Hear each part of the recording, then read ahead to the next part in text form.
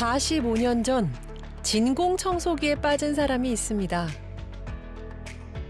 집 청소를 하다가 먼지를 빨아들이지 못하는 청소기를 보곤 해법을 찾았는데요. 제임스 다이슨. 영국의 발명가이자 산업 디자이너인 그는 21세기 에디슨이라 불립니다.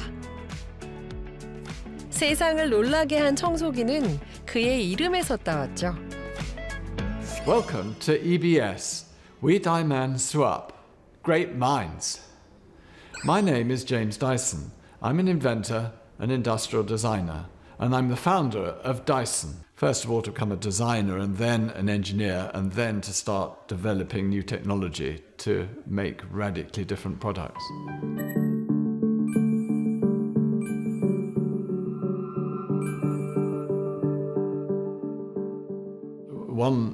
If you like, unsuccessful business was that I came up with a different type of wheelbarrow, which had a ball instead of a wheel so that it wouldn't sink into soft ground. And it also could hold water rather than spill water or cement all over the floor. So I, I used a wheelbarrow and hated it and wanted to improve it. Um, but it wasn't a commercial success. It got a big share of the market, but I didn't charge enough for it.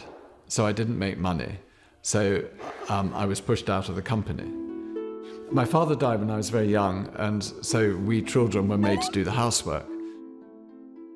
And one of the things I had to do was use a vacuum cleaner, which had a filthy old cloth bag, and it smelt horrible because we had a dog. So whenever you vacuumed, you got this horrible smell of dust and stale dog. And um, fast forward uh, 20 years, and I have my own house and young family. And I find my vacuum cleaners doing the same thing. It's smelling of stale dog and stale dust. And by the way, it's not appearing to pick things up off the floor, not appearing to suck things up off the floor, which is the same experience I remember as a boy, young boy, pushing around the vacuum cleaner at home. So I, I thought, well, wait a minute, 20 years has gone by, there's been no improvement. And it seems to me the problem is this smelly old bag.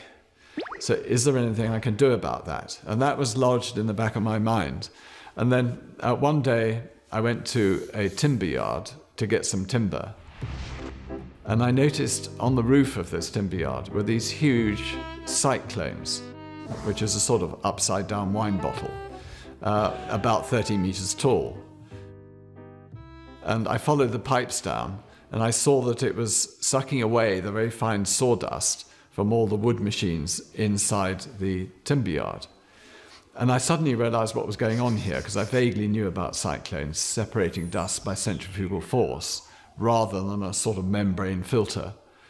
Uh, so I rushed home. I got quite excited. I rushed home and I made a very crude model of much smaller, of course. Instead of being 30 meters tall, it was about um, half a meter tall. And I connected that to my vacuum cleaner. And so my vacuum cleaner had a sort of miniature version of what I'd seen on top of the sawmill. And pushed it around the house with the dog sort of barking as I did it. Anyway, it appeared to pick up and collect everything. So I thought this is a much better vacuum cleaner because it's separating the dust by centrifugal force into a container and it's not sending all the air through the bag, the collected bag with the stale dog hairs and stale dust in it. And it's not going to lose suction, it's not going to clog, it's not going to block the filter. So I, this is what I want. I don't know whether anyone else wants it. Maybe, maybe they're quite happy buying bags. I don't know. But I hate buying bags. I can never find the right one. You have to buy them very frequently. And they're just an unsatisfactory engineering solution. Um, so when you pat a cushion or, or um, the carpet or knock the floor, what is blown about is actually something the size of cigarette smoke. And cyclones were only good down to 20 microns, but I needed it to be good to half a micron or a third of a micron. So I had to improve the shape and the how a cyclone works. So that was my first task.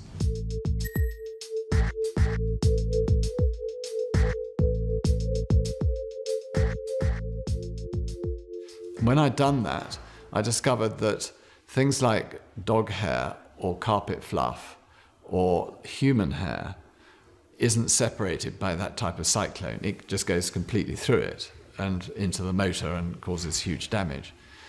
So I had to develop something different to deal with what I call the nasties, the sort of um, nails, uh, coins, uh, diamonds, if you like, uh, dog hair, uh, human hair, and fluff.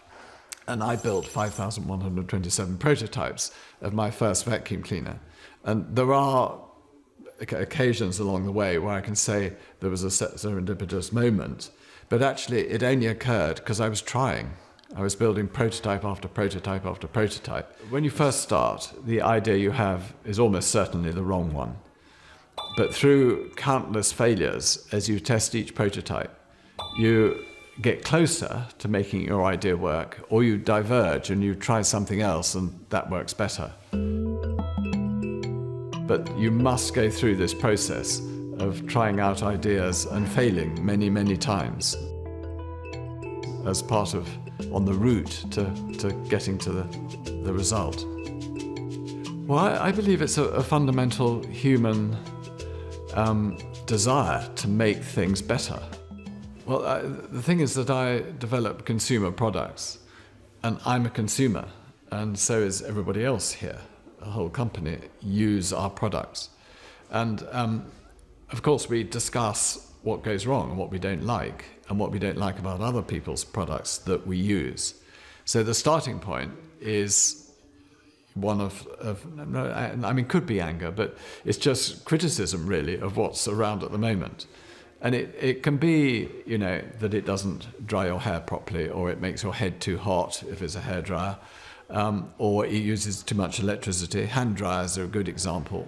When we started the hand dryer project, um, hand dryers were 3,000 kilowatts or more because they were using heat to dry your hands, which is actually not very nice for your hands. But um, so we developed a, a, hand dryer that used 700 watts instead of 3,000 watts.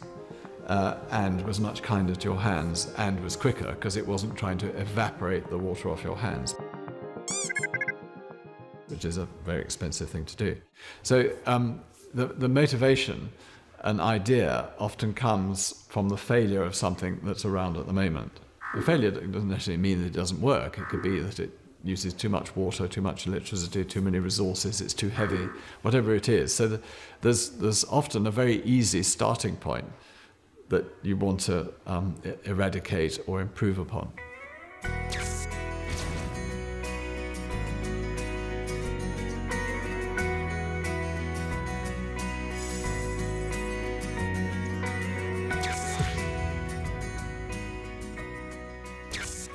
I, never like to think of myself as a business leader. I mean, what we're about is coming up with uh, better technology and a better product. So we're, we're, we're product people. We're a manufacturer who makes, develops new technology and makes more interesting products. And if we're successful, we're only successful because we do that well. So that's what we all concentrate on here. I never really think of it as a business. It's a, it's a, uh, we, we develop technology and make products. That's, that's what we do. No, I'd love to share them, but of course I mustn't for confidentiality reasons. But of course I can't share exactly what we're doing, but I'll try and share a few things. Uh, we're a family business and we think very long term. I mean, sometimes 15, 20 years out. Uh, for example, with energy storage, uh, batteries, in other words, battery technology. We started that 10 years ago and we're, we're now uh, building a factory to introduce some new battery technology.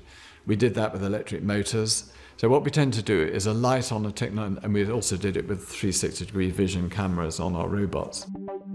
So we're a light which we started ten, again 10 years ago, and it's now on the market and being very successful. Um, so we light upon a technology and develop it, and some, that can take quite a long time sometimes.